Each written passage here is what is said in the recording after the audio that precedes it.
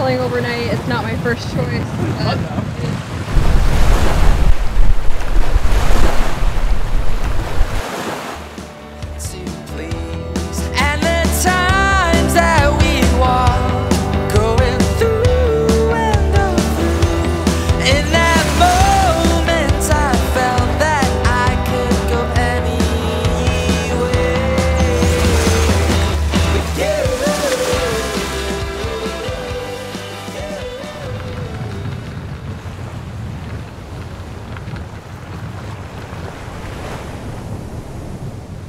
Well, we have not been here long and we're already on the move because our friends are on the move. Um, and it's kind of windy in this anchorage. It's not really protected.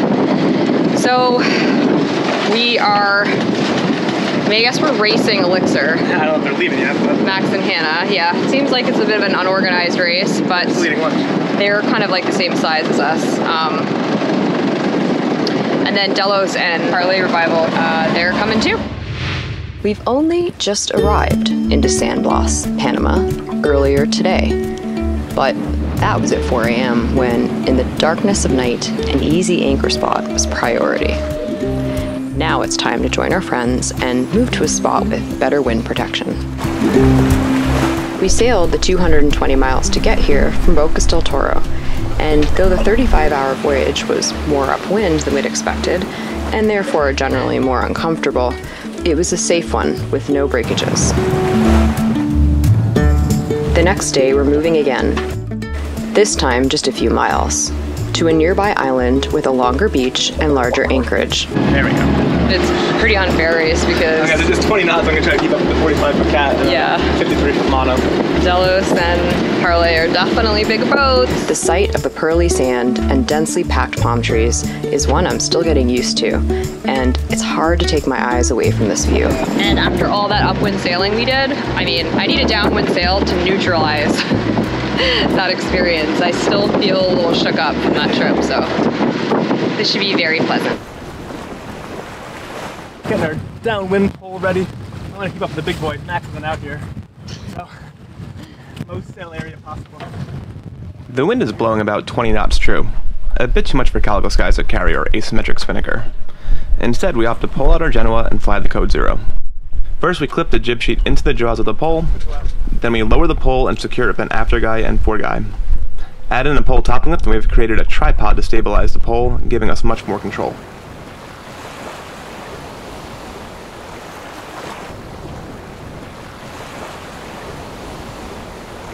Well, we're sailing.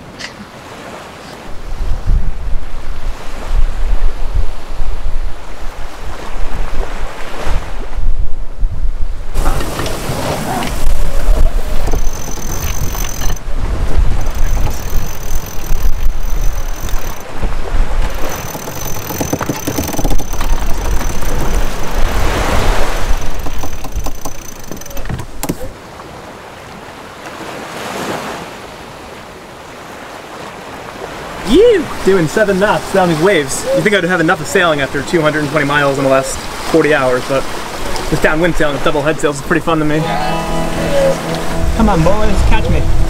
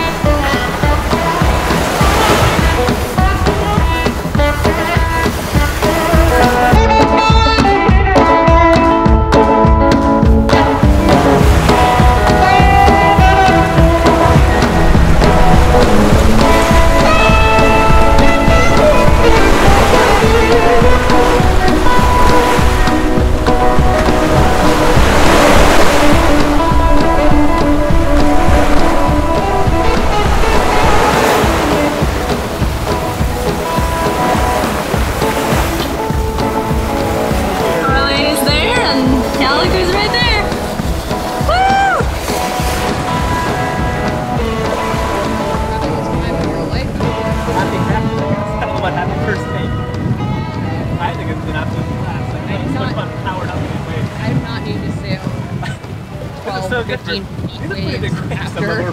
sailing overnight. is not my first choice, but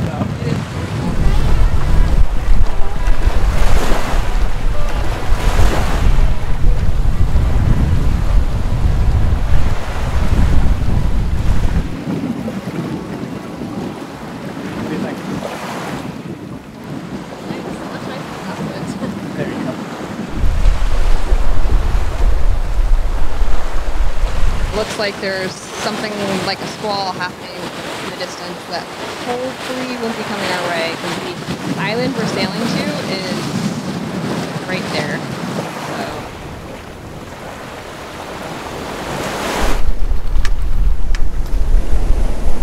Well, we made it, and uh, now I have to clean up the cabin a little bit because some things moved around. I wasn't expecting to sail so soon after coming in, so but it was a really nice sail, um, and we actually have service here, so that's pretty cool. Um, yeah, it seems like a very protected, pretty little spot. I'm looking forward to getting to explore this place over the coming days.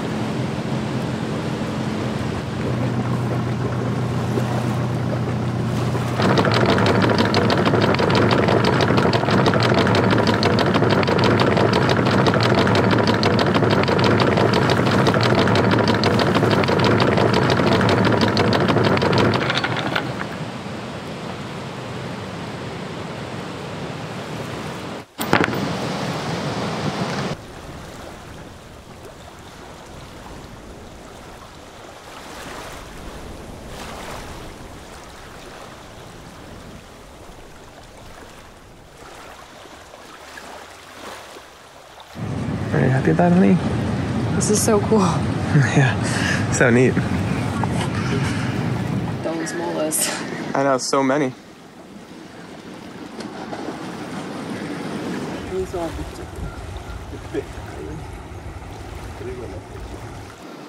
I am so excited. I really wanted to um, get to talk to the locals, and it happened so soon. I didn't even have to go into town. They came by on a boat.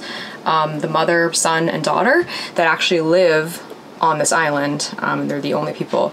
Um, but we bought two molas. Um, these are like, she said this took two months to make. I think it's so pretty. The two cons. I could have bought them all. She had a huge bucket. Um, and then this one's really cool too because this one's such a It's upside such a nice memory of like The cayuco. The cayuco and the little family. and like the family. Um, yeah, so it said she took two months each to make, and the little girl who's seven is an apprentice, an apprentice right now. Yeah. Um, but even through our broken Spanish, like they were so nice. And they actually invited us to go see their hut later today, where they live. Um, so I think we'll do that. And I also got a bracelet, and Bill got one too. He just we have to tie his a little tighter, but he got one of these. It feels so good to just support the locals too because this is a separate state actually from Panama, um, where the Kuna live and they own all these islands and no one can build here and yeah it's their land i mean it's all their territory so really cool. yeah and I, these are just so beautiful Yeah, intricate. it was hard to choose i had some weak moments there and we didn't want to film it because we wanted to be respectful Yeah. but we asked if we could so we took a little video with the iphone so you can see We asked them first, yeah. Cool. That's, that's a pretty cool experience. yeah i don't know where to put these but i'll find a nice place Yeah. A mola, the lovely applique handicrafts I've just purchased, are intricate creations sewn by female members of the local indigenous Kuna people. These people, numbering about 30,000, govern the San Blas Islands autonomously and are recognized by Panama as a separate state. Theirs is a fascinating culture, and happily, this interaction will not be our last.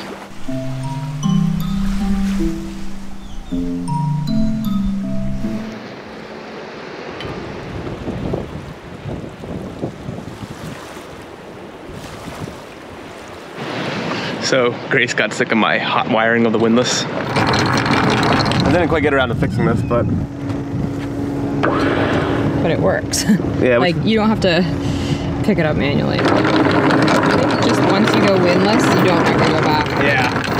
This is so much better than me doing it. It's kind of weird. We had bought these Bluetooth uh, wireless windlass controllers. This that I mounted on chart plotter. This worked for a while, actually only a day.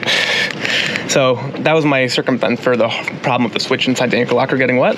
But these just stopped working out of nowhere. So the windlass wasn't working, and I figured out that it was a short in the remote. So the remote had gone bad again. The switch had rusted out. So we're sitting here in the middle of San San Blas. There's not really much to get here. So my solution for the windlass is as follows. I took one of Grace's Tupperwares.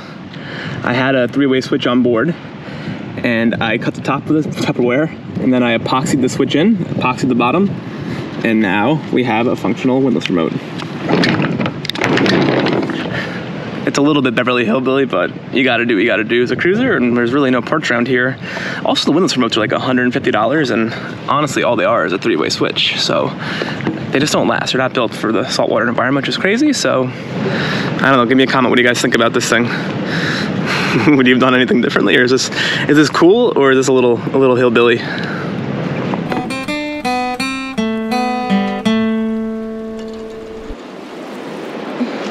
guys. Hi, Brian. What are you doing? Just chilling. Okay. Not working on a thumbnail. He's YouTubing. Get those clicks. I'm trying. All the things we do for a thumbnail. Although I'm actually really glad I came up here because it's cool, much cooler, and the view is insane. Even though it's a cloudy day, it's pretty sweet. It's also cool because this island is so narrow. You can see like to the other side.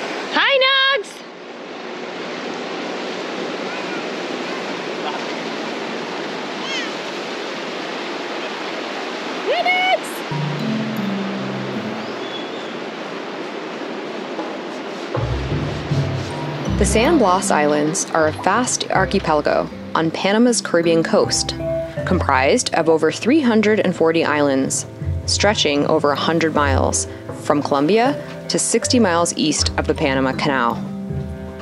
The islands, like all of Panama, lie well south of the hurricane belt. From December through April, the dry season, northeasterly trade winds prevail, like most of the Caribbean, though generally they are lighter here than the rest of the Caribbean. The area is not charted as well as most other places we've cruised, so we plan to rely more on visual navigation and word of mouth through locals and other cruisers. The water is extremely clear when sunny, as it often is during this time, which should help immensely.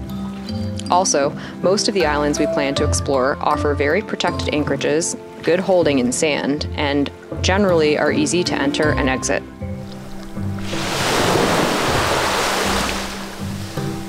Based on our research, we'll be seeing lots of palm trees, white sand, and coconuts, and can also expect good diving.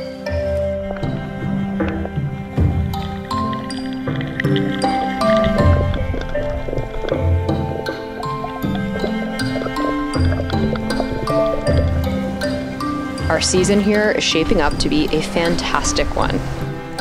With buddy boats, full provisions, and plenty of sunshine, we could not be more excited.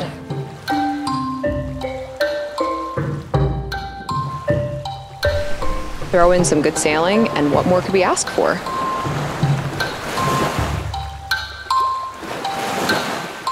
Stay tuned for the adventure. We hope you will join us.